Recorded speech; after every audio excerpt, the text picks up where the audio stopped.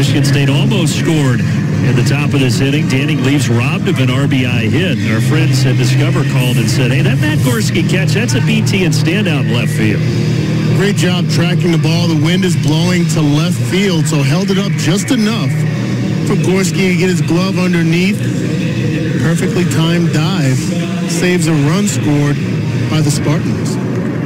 That wasn't a Jim Edmonds dive. That was a legit had to dive to get it, and he did.